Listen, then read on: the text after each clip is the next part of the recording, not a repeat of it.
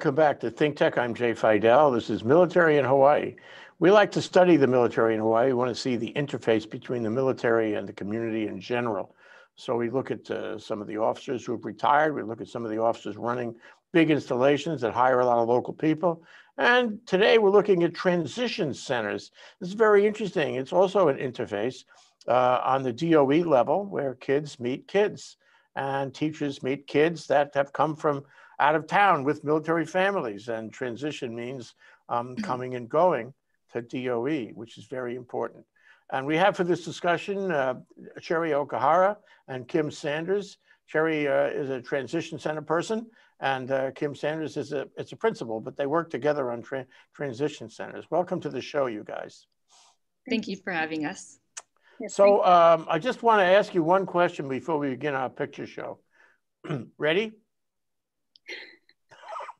Why, yes. why do we care about tran transition centers? Why is it important? Why is it important to the community in Hawaii? Why is it important to the military community that you know lives and works here? Okay, I'll, I'll take any answer. Do you mean to take it away? um, well, transition centers are so important to our children. Um, for them to feel like they belong uh, right away when they first come to a new place. Um, they're stressed as it is with a move. And so to go into a new school um, and not know anyone, um, it's a little frightening. So it's nice to have a place where they know they can go and make friends and right away belong. Yeah, what would you add to that, Cherry? I would say that transition centers have been able to help all students, including our local transit, English language learners, um, our housing insecure, and of course, our military dependents. You mean homeless?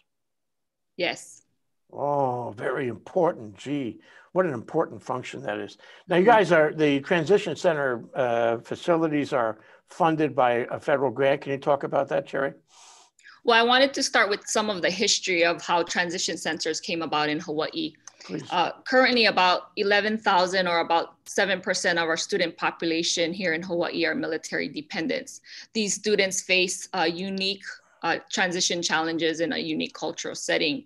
In 1998, a plan to form a task force to determine how the military could facilitate quality education in Hawaii public schools was initiated the Joint Venture Education Forum, or JVEF, was established in 1999 to develop an equally committed and involved partnership in pursuit of a quality education for all of Hawaii's children.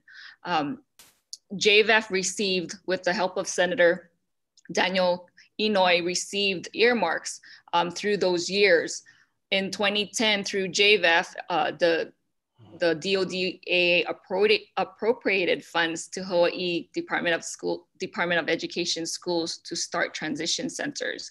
And so we credit schools, um, Radford and Leilehua high schools, both highly military impacted schools serving mainly um, Army, Air Force, and Navy families for developing these wonderful transition centers and programs. They have shared their best practices with other schools that in turn have started their own, such as Ewa Makai, which Principal Sanders is a is principal mm. of. Mm. So how many are there altogether in Hawaii? there's quite a bit. Actually, I don't have that number, but I can tell you for the grant um, in 2017, in partnership with community partners, the Hawaii DOE committed $250,000 annually for four years using federal impact aid funds for transition center creation, improvements, technology, furnishings, and special events. To date, 50 public schools from all across four counties have benefited from this effort, which we named the Takai Transition Center Network in honor of the late Congressman K. Mark Takai, who was a staunch advocate for Hawaii's um, students and supporter of military dependence throughout his career. Totally appropriate. Mark Takai appeared in our shows a number a number of times. So, so Kim, Kim, can we talk about how, how what happens in a transition center? What happens, uh, you know, on all sides of the transaction? So um, uh, last year we started our first transition center here in uh, Ewa Makai, and it was a little bit different than it is now because of the pandemic. Um, but um, what we did was right away, as a student comes in, We um, welcome them with a lei. The students take them around to their classes. They have lunch with them. Um, they make sure right away they pull them in and, and that they have a, a you know, they feel special here. Um, it was really interesting because um, uh, the students have started to develop exactly what it looks like. So we have about, we originally had about 65 students that wanted to be what we call ambassadors, um, where they're the ambassadors to our school welcoming these new students. Oh, what a um, lovely it, idea. What a lovely idea. It touches me that you, that you set it up that way. Yeah, so now we have about 35 that are, are definitely in it and, and you know, want to be there at the, the full force of it. Um, and they've decided that they wanted to have workshops. Um, they've started different things. They have games during lunch. Um, so again, just pulling those in, we have lunch bunch where they had they have games and, and activities. So everybody feels like they're important and that they, they belong. So is this just uh, for welcoming or does this go, you know, at least in concept through the entire term? What, what, what, how long does it last? So it lasts the whole year. We we check in with them all year long. Um, this year's been a little bit different because um, we are at distance learning, but our students were still creative. Um, our coordinator um, is Lolita Ayala, and she has been amazing. Like today was um, a time at 11.15, we had what we call a lunch bunch. We invited some of the new students. I got a chance to talk with them, find out their hobbies, um, what they like. Um, and then again, our students are, are welcoming them through virtual um, Google Classrooms or Google Meets, um, and just making sure that they're feeling good about Hawaii. They're learning a little bit more about Hawaii from the students that are already here. You know, I'm looking at uh, uh, Lewis Carroll and the and the, the uh, you know the Ghost of Christmas Past. What was it like without the transition centers? Uh, what problems emerged, and how have the transition centers solved those problems, Kim? Um, I think, um, and again, having been a military child myself and been in those positions, I did. I worried about who was I going to eat lunch with? Was I going to be sitting by myself? What was going to happen? Was I going to be able to find my glasses? Um, so, um, and seeing it through my children's eyes also every time we moved, um, I felt that it was something that was super important here at our school to make sure that as soon as they come, they they have friends right away and they feel like like they're part of the school and and they get involved faster because we know that when students are involved in schools they do better academically. So um, again right away um, i think that was what was important for me to be able to do. It was interesting because um, this last year i decided to shadow a student that was new just to see what it was like. So i dressed as a student. The kids got a pretty good kick out of it me coming to their classes um, with this new student but it you was co- you couldn't have done that for us today. Sorry. so it was really great because again, I got to see how our children interacted with the new student, and it was marvelous. It was so nice to see um, that it, it, it has evolved into something where we we do look at the social emotional learning of our children and how important it is in every school. Is it perfect, or are there are there wrinkles? Um, there are sometimes few wrinkles because again, there are some shy students that, you know, back off, you know, at first, but then once they realize how genuine our, our students are, they come around and they, and they want to be involved in it. What a lovely idea. By the way, I said Lewis Carroll, I was wrong. It was Charles Dickens wrote the uh, Ghost of Christmas Past, a Christmas story. I, I, think that was it. Um, anyway, okay, so let's do a, uh, let's do a, a, a, picture show, Cherry. Um, in fact, you can both join and describe the pictures. We have a few of them, and I want to sort of give people the flavor of, of how you operate these rooms and, and how the social engagement works in these rooms among the mm-hmm. people who are involved. So let's start the picture show now. Describe. Principal Sanders, you want to take this one? Yes. So this is this is our students. These are um, the ambassadors um, that started the Transition Center, and this was our dedication last year. And we were so lucky because Sami Takai, uh, Mark Takai's um, uh, wife, had shown up and um, and actually um, cut the ribbon for us for our dedication for the Art Takai Center, which was really it just um, heartfelt by all of us. Um, so there's a picture of our Kaz, Kaz Tajima, um, and, um, and also um, our coordinator who um, works the with the students throughout the year. But they the students at this one it was really great because they set up little um, stations for everyone that came to see what they do, and they have de-stress stations where they they talk about de-stressing. You know, especially in middle school, some of our students stress over their grades and things like that. And and they had one center on on all about Hawaii, and they talked about musubi and how to make it, um, things like that that were really great. Okay, next one. This is a map of um, the schools that have benefited from the Takai Transition Center network. So about, uh, I said about 50 schools have benefited so far from the grant funding throughout all four counties. Okay. And we wanted to um, recognize some of our community partners that have assisted with the Transition Center uh, efforts. One of them is Hawaii Business Roundtable with the K. Mark Takai Foundation and other generous sponsors as listed on, on that flyer from this year's Transition Center's Best Practices Conference. Um, we're able to bring together school staff and especially our students because it's important to hear from our student ambassadors and leaders of the student voice. So they've come together and um, Hawaii Business Roundtable, with their generous efforts, have put on a one day Transition Center's Best Practices Conference where we're able to uh, provide a sense of um, school community support. They find resources. And just for the students and Transition Center coordinators who sometimes also play the role of the parent center networking um, group. And so they're able to share their activities and best practices at this conference. Mm valuable. And what started with that was um, schools started to ask Radford High School, Leilehua High School, and their transition centers and student ambassadors about their units of instruction. How are you doing your lunch bunch? How are you welcoming your students? So it was a way of saying, these are our students that we're uh, catering this program and this center around. However, what about folks that are catering to our housing um, insecure our English language learners. So we wanted to be able to just say, not just military dependents need help with transition, all, student, all students need. Okay.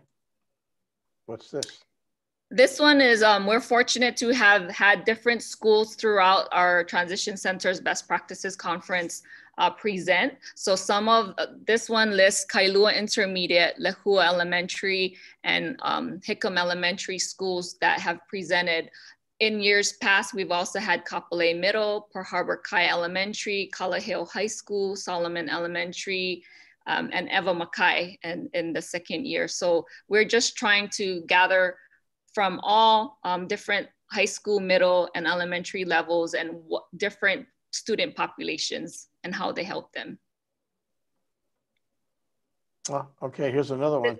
This is a great picture. This is our Pearl Harbor Kai um, students with our uh, superintendent, Dr. Christina Kishimoto, and our deputy, um, Phyllis Unebasami. So at these transition centers, the schools that I have already presented in the previous years, they're allowed to have resource tables. And so they can go around, even though they're not presenting that year, they're still able to share their activities um, and best practices during that um, networking time. So this was the first one, and we had it at the Hawaii Okinawan Center, and it was such a, a big event that um, Mr. Gary Kai and Hawaii Business Roundtable said, "Oh, we'll promote you to the Pomaikai ballrooms so that we could have actual um, group sessions um, divided." So it was we were pleasantly surprised with the amount of folks that attended the first one. So um, that was with the group of students with Mr. Gary Kai this is great because this is at Kalaheo High School. We want to make sure that, you know, each of our complexes are sharing. So for example, um, this is that Kailua Kalaheo complex and they were able to open their transition center and um, we have supporters like Mr. Um, James Sunday from Radford High School who was able to share their program and they were able to come in that day. We also have pitcher Miss Kawi Lucas of Hawaii 3Rs and Kaz complex area superintendent Lanelle Hibbs in that picture and other community supporters. Mm -hmm. This one is great because the Takai um, uh, family actually was able to attend this. They're calling it the Ohana Transition Center um, at Lehua Elementary, and um, Congressman Takai had, you know, ties to that community. That's where he was raised and where his children also attended school. So we wanted to feature that one. These are our principals and students that were participating in the student panel. That year we had um, Radford, uh, Harbor Kai, and Leilehua administrators and, and students um, sharing their experiences during that panel. And it was moderated by Teresa Sanchez, also a wonderful supporter of this, this uh, effort. And this was at Hickam Elementary on Joint Base Pearl Harbor Hickam.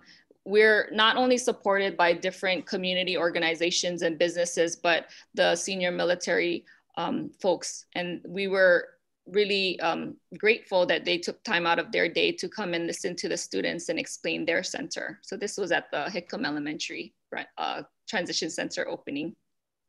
This was at the uh, conference as well. We have Complex Area Superintendent uh, Robert Davis and Deputy Unebasami with the ambassadors from Radford and Leilehua. Okay, I think that's it, right? So let me ask you, how how uh, how long have you been doing this, Cherry? It sounds like it's quite a while already, huh? I became the Hawaii DOE military liaison in 2004 after having worked in um, the Hawaii P20 Partnerships for Education with the College and Career Readiness. I had a short stint with the Department of Transportation in all divisions. Um, but I actually started my career at the Hawaii State Legislature working for, for former Senator Norman Sakamoto. And we were education and military affairs for some years. So I have quite a background and I actually did attend some joint venture education forums during my time there. Yeah, and you reminded me that you and I met at that time. I really liked him, by the way. I thought he was very, very good. Yeah, Norman. He he he was wonderful, and I also wanted to um, comment that during that time we did create the Hawaii Medal of Honor with Congressman Takai, honoring those uh, those families. Yeah. So, um, how much participation uh, is comes from the military on this? We know we have the military kids, and uh, you know, in at least one of those photographs, there were military officers involved, or personnel, I should say. Um, but how much how much engagement um, do you have between the transition centers and um, you know the commands of the various bases? They've been supportive in the sense of different transition center openings, but I feel that um, the principals have allowed senior military folks or even military families to come and see um, these transition centers. And I'm not sure Principal Sanders, if any of the um, folks have been able to visit your school, but at the Joint Venture Education Forum meetings, we've discussed this um, effort and they're, they're full in support because transition is a quality of life issue for them as well. Yeah, let, let me let me turn to you, Kim. And you know, we're in COVID. I don't want to remind you of anything unpleasant, but uh, that changes schools. It changes kids. It changes parents. It changes certainly uh, the teachers and the administrators and all that. And so how has COVID changed this program? How you, you mentioned before that now you were doing more uh, online with Zoom and, and various other uh, remote systems, but how has it changed the program? So um, that was it was a challenge. Um, so one of the things that my coordinator um, suggested, and I thought was a brilliant idea, was to actually bring the families in and we do an orientation. So she spends about an hour with them, masks on, six feet distance, but we give a chance for the student to see the school because, you know, otherwise it's just they see the outside and they don't know what it feels like to be inside the school. So we do give them a chance to come into the school with our coordinator. They go through a lot of the um, paperwork and things that are happening at our school. Um, and then um, we um, uh, get a chance for the students to actually meet again virtually through a um, Google um, group they, they have. Um, but we've had um, also um, coffee mornings with the parents because we want the parents to be involved also and start getting involved in, in the school with, with their child and also feel like this is their home too. And then some of the things that the students are doing. Um, I, they, they sent me a, a whole little list. Um, they've been working on some murals that when they do come back, they're going to be painting on the walls that are welcome murals, um, which again, I love student work in our schools. Um, and then uh, they also have, um, again, the uh, um, something that they do for the students that are leaving too. Because again, when students are leaving, it's also very heart wrenching um, when we have to say goodbye. So they uh, designed, and I can show you real quick, they designed these little um, posters that they send to the students. Um, and, uh, and they, you know, just when they get to their new place, whatever, wherever they move to, um, they get a postcard from our students saying, how are you doing? You know, we miss you. And just, um, we, we keep that love going, you know, so. Oh, um, oh, fabulous. A pen pal relationship uh, yeah. on into the years, uh, which is a real gift for everybody involved. Yeah.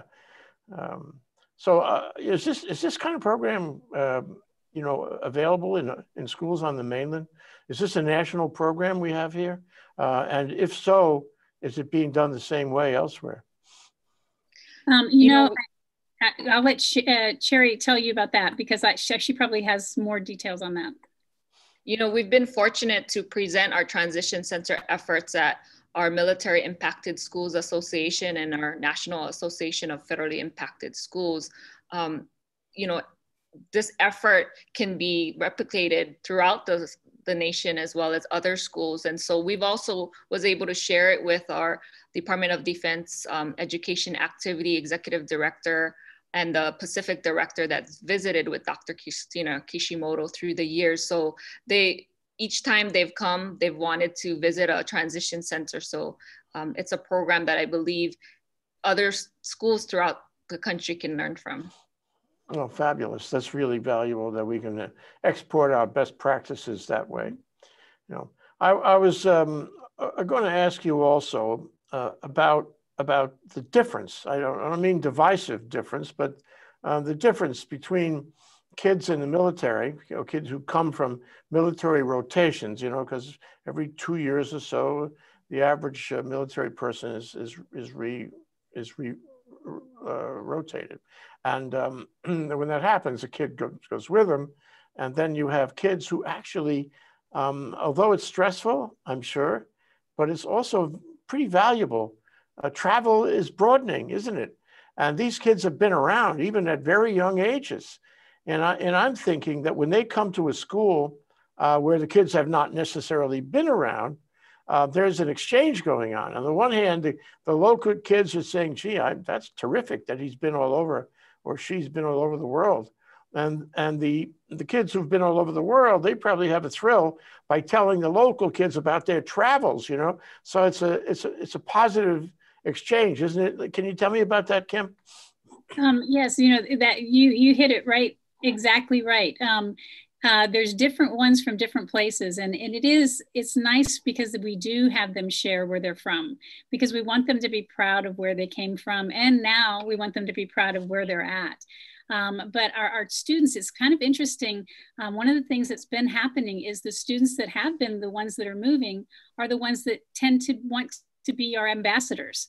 They're the ones that want to give back to the students that that help them transition into our school, which I think yeah, is you call it paying forward in the in the, the nonprofit yeah. world, paying forward, yeah.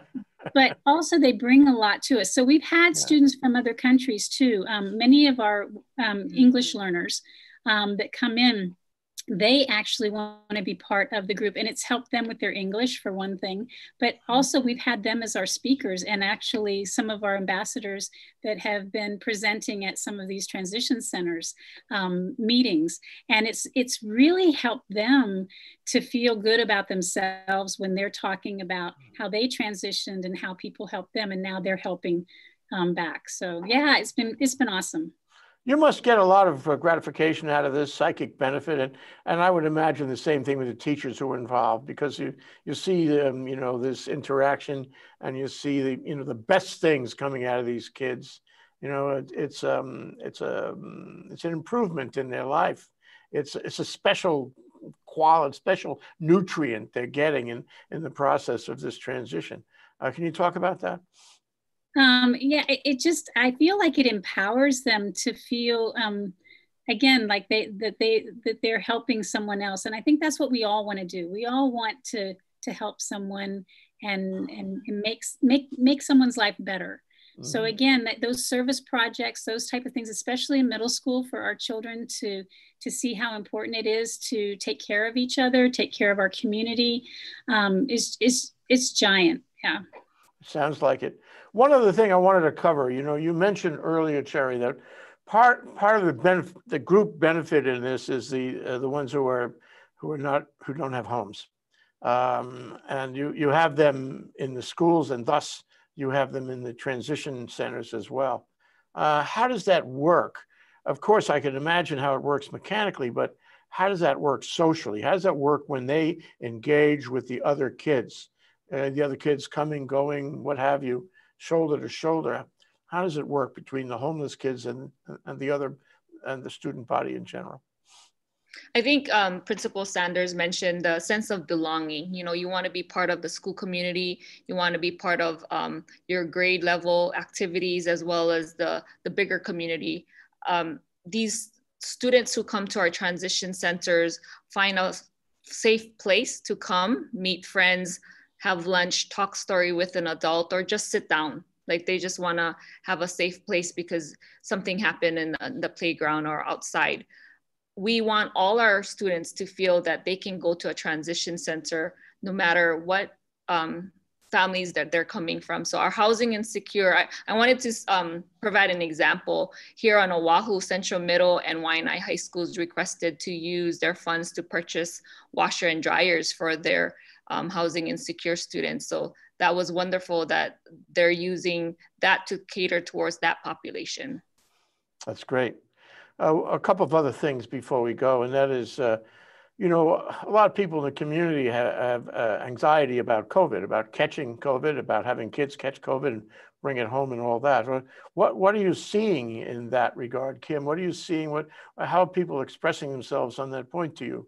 Um, I suppose the kids have thoughts about that, but also their their parents mm -hmm. and your and your teachers as well we're, we're trying to stay as positive as we can and, and, and do as much as we can and, and in innovative ways. So we've done um, welcoming um, videos where our students, um, we do have a few come on. Um, we rotate some students on to the campus um, for learning.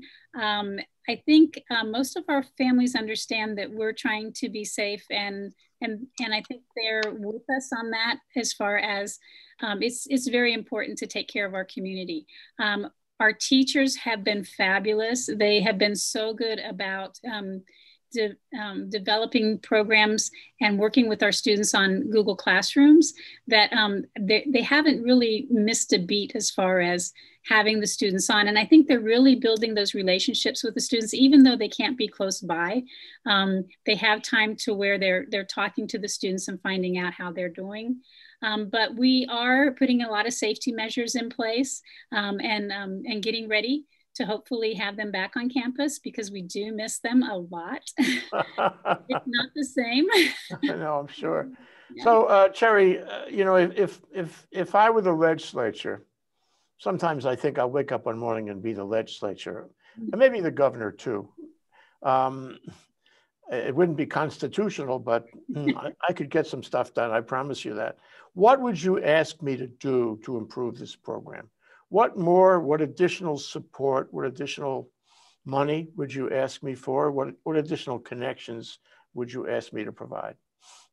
I think additional funding from either um, state government funding is definitely welcome. However, with the you know budget restraints on on both federal and state, we need to look be creative and asking our business and community as well as our military partners of how we can assist all students in transitioning but helping all students you know get back to normal and so this program of the transition center efforts with our schools uh, we we definitely want people to know more about it but also that it can be replicated throughout the state. Um, I have other examples from Kauai as well as on the Big Island of how they're using their transition centers to reach different populations. Um, and so I believe if we asked our state and um, federal legislators to support the effort, that would be wonderful. It reminds me of a show we did with um, Kayla High School uh, in uh, Kona, up, up, up Mauka, Kona. And um, the the, the uh, principal there, I think his name was Murakami, was a really wonderful well, man. Mr. Will Murakami. Yeah. Um, he was concerned that the parents of some of the Pacific Islanders didn't know how to balance their checkbooks or, or shop in the, in, the, in the store. And so he would, he would create classes for the kids on these mm-hmm. subjects, but then he would invite the parents too. and they would all come in and learn about the you know the fundamentals of living you know in Kona, and I thought that was really a wonderful idea. So uh, what you're doing really is extendable, extensible um, to other other other functions. It's not only you know transitioning with military kids, is transitioning in general. It's a mm-hmm. it's a welcome wagon kind of thing uh, where you, you know, it, it pays off in so many great rewards. Okay, we're, we're, we're about done, Kim. I'm going to give you the last word. So what message you want to leave with our viewers today, Kim Sanders? Um, just um, keep supporting our transition centers and, um, and our children are, um, are really resilient.